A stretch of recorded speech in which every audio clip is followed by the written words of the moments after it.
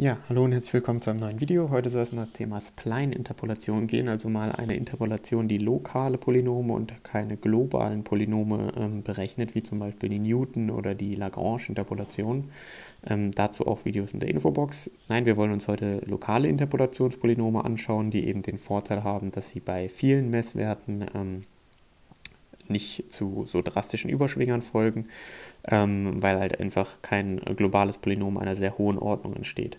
Man kann bei lokalen Polynomen natürlich ähm, auch entscheiden, von welchem Grad das sein soll. Es gibt die äh, äh Nearest Neighbor Methode oder eben ähm, eine lineare Interpolation, wo man halt eben ähm, Graden verwenden würde als Interpolation.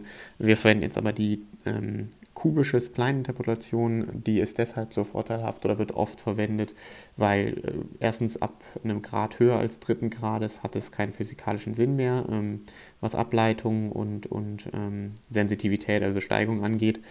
Ähm, äh, der Vorteil bei dritten Grades ist eben gerade bei dieser Spline-Interpolation, ähm, die kubisch abläuft, dass die Biegemomente in den Stützstellen verschwinden, was ähm, man sich so vorstellen kann, wie wenn man jetzt zurückdenkt an die ähm, technische Mechanik-Vorlesung, wenn man jetzt quasi Platten durch diese Fixpunkte, also durch die Stützstellen legt, dann würden diese physikalisch sich so auch ausbilden, dass die Biegemomente eben minimiert oder nicht mehr vorhanden wären.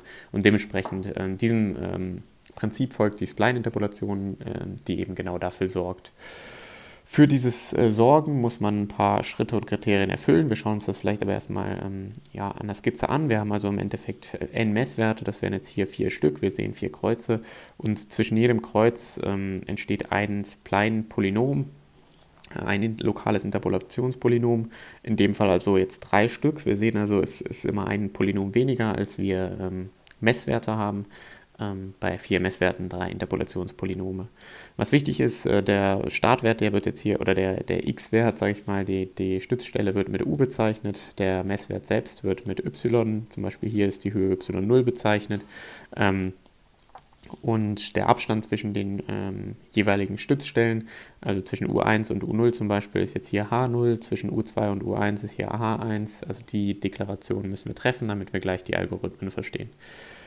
Gut, also für n-Messwerte n-1 Polynome nötig. Wir sagen auch, ähm, dass wir ja ein Polynom dritten Grades haben. Wenn wir ein Polynom dritten Grades haben, dann heißt es auch hoch 3 ist also das höchste, was wir da an Gefühlen quasi haben. Ähm, was wir natürlich dann bestimmen müssen, ist von den einzelnen Polynomteilen, also von den Monomen, die in dem Polynom auftreten, die Vorkoeffizienten a0, b0, c0 und d0 an der Stelle. Ähm, wenn wir die im Endeffekt bestimmen wollen, dann machen wir das ähm, relativ äh, simpel über einen einfachen Ansatz oder ein Verfahren, das ich jetzt hier nicht herleiten möchte, äh, kann man aber in jeglicher Fachliteratur zur äh, Spline-Interpolation finden. Die Herleitung würde allerdings ein bisschen den Rahmen des Videos sprengen. Ähm, die macht aber im Endeffekt nichts anderes als diese Ansätze, erste Ableitung, zweite Ableitung in den, in den ähm, Stützstellen selbst äh, zu Null zu setzen also zumindest die erste Ableitung und dadurch im Endeffekt zum Beispiel einen flüssigen, ähm, knickfreien Übergang zu schaffen, was eben diese Biegemomente minimiert. Genau, wenn man das tut, dann kommt man auf ein paar Formeln, die ich jetzt gerade mal hier aufgeführt habe. Die AI und CI sehen wir ist relativ komplex. Also wenn ich das jetzt mal runterbreche auf zum Beispiel, ähm, ich möchte nur y0 bestimmen, also nur diesen Teil hier bestimmen von meiner Kennlinie, dann muss ich natürlich auch nur a0 bestimmen, nur b0 bestimmen, nur c0 und so weiter bestimmen. Ähm, wenn ich a0 bestimmen wollen würde, dann wäre das also 1 durch 6 h0 multipliziert mit y0 äh, y1 minus y0 Dann identisch BI ist auch wieder was zu berechnen, allerdings deutlich leichter. CI ist auch was zu berechnen, das ist am schwierigsten oder am längsten, ist im Endeffekt aber auch nur einsetzen. Und DI ähm, ist ganz einfach zu berechnen. Da brauche ich quasi nur einen Messwert. Was wir jetzt hier finden, sind also zum einen unsere ähm, Messwerte, die wir haben, nämlich die Reihen Ys, aber auch deren zweite Ableitung, die da auftauchen. Und wenn wir also die zweite Ableitung sehen, dann müssen wir die auch irgendwie erstmal berechnen oder bestimmen. Und da gibt es bei dem Ansatz auch eine Vorschrift, wie das funktioniert. Ähm, sieht man auch in der Herleitung, woher die kommt. Was erstmal wichtig ist, man nimmt äh, für den Ansatz an oder man nimmt für den Ansatz das Beispiel, dass die zweite Ableitung in den Endpunkten unseres Gesamtbereichs, also hier und hier, ähm, zu 0 werden soll. Das heißt, ähm, automatisch ist schon y0 immer 0 und eben bei jetzt zum Beispiel vier Stützstellen ist y3 auch 0. äh, y3 ja, also immer die zweite Ableitung. Jetzt möchte ich natürlich auch die dazwischen kennenlernen und dafür gibt es eben diese folgende, nicht verwirren lassen bitte, Matrix. Ähm, in der Matrix füllt man jetzt eben ein. Oft ist es so, dass man tatsächlich nur diese beiden Elemente braucht, weil alles andere wäre in der Klausur ähm, ja, doch sehr heavy zu lösen. Ähm, hier also relativ simpel. Wir müssen also einsetzen unsere H's, die wir ja kennen. Wir müssen einsetzen ähm, unsere Y's, die wir kennen. Aber hier ist nirgendwo eine Ableitung drin in diesem, in diesem Matrix-Konstrukt, ähm, sodass wir quasi alle Größen be äh, uns bekannt sind und wir eben hier diesen ähm, Ableitungsterm y' uns ähm, durch Inversion der Matrix oder eben einfach Lösen des Gleichungssystems bestimmen können. Sehen wir gleich auch nochmal an einem Beispiel, aber genau. Wollen wir also mal zum Beispiel rübergehen. Da haben wir jetzt auch vier Stützstellen. 1, 2, 3, 4 sollen sie sein. Das muss nicht immer so sein, dass die äquidistanze Abstände haben. Wir wählen das jetzt hier einfach mal so, dass das so wäre. Macht uns den Trick leichter, dass H0 gleich H1 gleich H2, also die Abstände zwischen den Stützstellen immer 1 groß ist. Denn 2 minus 1 ist im Endeffekt 1, 3 minus 2 ist 1 und 4 minus 3 ist auch 1. Ähm, das ist das Komfortable jetzt daran. Und unsere Messwerte an den Punkten sind eben 0, 10, 15 und 20. Wir berechnen jetzt hier nur y0 von u. Also wenn wir uns das am Beispiel mal anschauen, wäre das jetzt bei so einer Kennlinie einfach nur dieser Teil. Es ist nämlich extrem aufwendig, jedes dieser einzelnen zu berechnen und deswegen, ähm, ich denke, in der Klausur müsstet ihr wahrscheinlich auch nur eins berechnen. Falls ihr mehr berechnen müsst, kriegt ihr sicherlich auch mehr Zeit. Gut, wir wissen nach unserer Vorschrift, dass die zweite Ableitung der, ähm, des letzten und des ersten Messwertes immer 0 sind. Das heißt, hier an der Stelle wäre eben y0', jetzt habe ich hier schon ähm, ein bisschen was verkackt. Wir haben natürlich bis y3, also y0' und y3', die sind halt 0, ähm, weil wir im Endeffekt ja bis n gleich 4 gehen, also n gleich 4 Messwerte haben. Und wenn wir n gleich 4 Messwerte haben, an der Stelle das Ganze ähm, berücksichtigen können.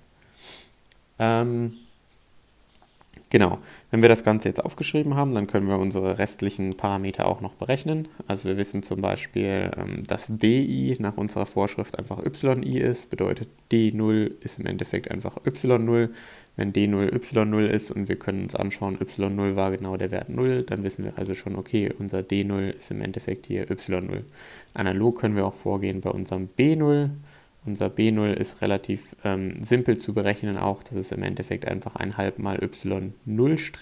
Hier ist es so einfach, weil wir eben wissen, dass y0' automatisch nach unserer Vorschrift eben 0 gesetzt wird. Also auch hier sehen wir, okay, unser B0 ist auch 0. Macht uns schon mal das Leben ähm, leichter. Jetzt wird es natürlich ein bisschen schwieriger noch. Wir müssen ja auch a0 und c0 bestimmen und dazu benötigen wir eben y1', also wenn wir uns die Formel nochmal angucken, c0, da steckt hier y1' drin und bei a0 steckt auch y1' drin und dementsprechend müssen wir das y1' herrechnen. Dafür stellen wir diese Matrix auf, die wir oben gesehen hatten. Und oben habe ich auch schon gesagt, in der Matrix, man meist, meistens braucht man nur dieses Element dieses Element und dieses Element, das ist jetzt hier der Fall, nämlich genau dann, wenn wir eben nur ähm, vier Stützstellen haben. Gut, wenn wir diese vier Stützstellen haben, dann kann ich die Matrix also runterbrechen auf dieses kleine Konstrukt hier. Das kann ich jetzt auch ausfüllen, das kleine Konstrukt. Wenn ich mir das aufschreibe, kommt da im Endeffekt 2 mal 1 plus 1, das ist also 2 mal 2, ergibt 4. H1 ist 1, 1 und 4 raus. Dann suche ich ja mein y1', mein y2', das sind ja meine Unbekannten. Und da muss ich jetzt im Endeffekt natürlich noch einsetzen, was auf der rechten Seite steht. Ich meine, das ist 6 geteilt durch 1, multipliziert mit y2 minus y1. Wenn wir uns das angucken, das ist 15 minus 10 hier an der Stelle. Also ist das 6 mal 5 ist 30 geteilt durch, äh, oder minus, Entschuldigung, 6 mal y1 minus y0, also minus ähm, 6 mal 10, also 30 minus 60 sind minus 30. Und dann das gleiche nochmal hier an der Stelle. Allerdings hier ähm, kommt 0 raus, können wir auch gleich nochmal kurz ähm, erläutern, warum. Sehen wir, ähm, dass ja der Unterschied, wir haben hier quasi 6 mal geteilt durch 1, ähm, y3 minus y2, das ist also 5. Und dann ziehen wir davon ab 6 mal y2 minus y1, das ist auch wieder 5, also 6 mal 5 minus 6 mal 5, deswegen kommt dann 0 raus. Ähm, das soll jetzt nicht die Schwierigkeit der Aufgabe hier sein, deswegen bin ich hier gerade ein bisschen drüber gerusht, aber könnt ihr gerne nachrechnen, dass dieser Vektor im Endeffekt so aussieht oder diese Werte annimmt. Wenn ich den jetzt lösen möchte, kann ich mir das als Gleichung aufschreiben. Ich sehe 4y1' plus y2' ist gleich 20. Äh, das schreibe ich hier auf, minus 30. Und ich sehe, dass ähm, minus ein Viertel y1' ist gleich y2'. Und dann kann ich quasi das hier einsetzen, also hierfür einsetzen und komme dann darauf raus, dass 4y1' minus ein Viertel y1' gleich 30 minus 30, Entschuldigung. Und das ist ja nichts anderes, ähm, als dass da steht, y1' ist gleich 4 geteilt durch 15 mal minus 30, was nichts anderes ist als minus 8. Wenn ich die minus 8 hab, auch 8 habe, dann ähm, kann ich auch automatisch die y2' ausrechnen. Die brauchen wir jetzt hier in der Aufgabe tatsächlich nicht, aber kann man relativ einfach, wenn man jetzt hier die Gleichung gegeben hat. Also minus 8 durch minus 4 ergibt ähm, das y2' ist gleich 2. Falls man das irgendwo mal brauchen sollte, zum Beispiel wenn man jetzt ähm, dieses Polynom hier berechnen möchte, da braucht man diesen Wert. genau. Ähm, wenn wir das berechnet haben, dann können wir jetzt A0, A und C0 noch berechnen, weil wir eben unsere Vorschrift jetzt ausfüllen können. Wir haben jetzt alle Ableitungen gegeben, das heißt A0 ist 1 geteilt durch 6, 0, äh, 6 mal H0, H0 ist aber 1 und das multipliziert mit y1', das war minus 8, abzüglich minus y0', y0' ist immer 0, also minus 0, dann kommen wir auf minus 4 Drittel. Dann das gleiche für C0. Bei C0 haben wir eben 1 durch 1 mal y2 minus y1 an der Stelle. Ähm, das können wir vielleicht gerade auch aufschreiben. Äh, Entschuldigung, y1 minus y0 an der Stelle. Minus 1 Sechstel mal h0, das ist ja 1 mal y1' plus 2y0'. Gut, das hier Ganze ist 0. y1 minus y0 ist 5 ja, äh, jetzt muss ich gerade gucken, y0, y1 minus y0 ist 10, so rum. Ähm, und wenn wir das einsetzen an der Stelle, dann haben wir also quasi hier ähm, 10 minus 6 mal y1', was ja im Endeffekt ähm, diese minus 8 an der Stelle waren. Und das können wir gerne einsetzen, da kommt dann raus 10 minus 1 Sechstel mal minus 8 und dann ist das Ganze 34 Drittel. Gut, das mal im Schnellverfahren ähm, ausgerechnet. Mir geht es jetzt wirklich nicht darum, dass wir hier Aufgaben ausrechnen, sondern ähm, das Prinzip, wie wir welche Matrix wann wo anwenden, ähm, verstehen. Wichtig ist, dass wir also jetzt unsere Parameter bestimmt haben, denn die benötigen wir. Also A0, ähm, B0, C0 und D0. Wir haben eben gesehen, A0 war minus 4 Drittel, ja, das steht hier oben. B0 war ja 0, D0 war auch 0 und C0 war 34 Drittel. Wenn wir das jetzt berechnet haben, dann haben wir alle Größen, um eben unser Spline-Interpolationspolynom zwischen den ersten zwei Messgrößen zu berechnen. Das haben wir ja oben definiert, ist ai mal u minus ui hoch 3 plus bi mal u minus ui Quadrat plus ci mal u minus ui plus di.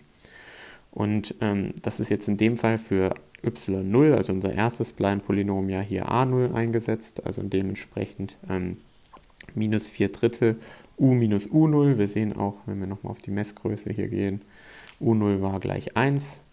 Das heißt, u minus u0 ist u minus 1 hoch 3.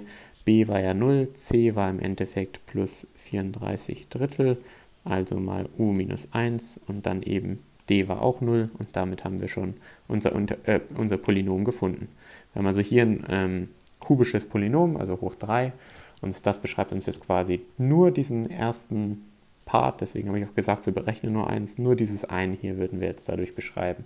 Achtung, nicht verwechseln, diese äh, Kurve ist nicht die gleiche wie zu den Stützstellenzählen, also ist jetzt nicht das gleiche, das war hier ein frei erfundenes Beispiel. Genau, jetzt könnten wir aber natürlich auch einfacherweise y1, y2 und so weiter bestimmen. Das ist jetzt nicht mehr so schwer, weil wir diese Matrix schon gelöst hatten. Wenn man die einmal gelöst hat, kann man alle ähm, Parameter bestimmen, weil wir ja jetzt alle Ableitungen kennen. Also dementsprechend könnten wir auch A1, A, B1, C1, D1 und A2, B2, C2, D2 und so weiter berechnen, um eben alle Parameter zu kennen. Also immer dran denken, den Algorithmus, den ich aufgeschrieben habe und erklärt habe, irgendwo aufs Formelblatt oder auswendig lernen und dann ist das Ganze nur noch runterrechnen. Falls es Fragen gibt, können die natürlich gerne in die Kommentare gestellt werden. Ansonsten gibt es ja, wie gesagt, auch Videos zur Interpolation, ähm, gerade auch zur Approximation, ähm, vielleicht für globale Polynome. Ähm, das ist dann auch nochmal in der Infobox verlinkt, da könnt ihr gerne vorbeischauen und ähm, falls es da Fragen gibt, dann wie gesagt in die Kommentare. Ansonsten bedanke ich mich fürs Zuschauen und dann bis zum nächsten Video.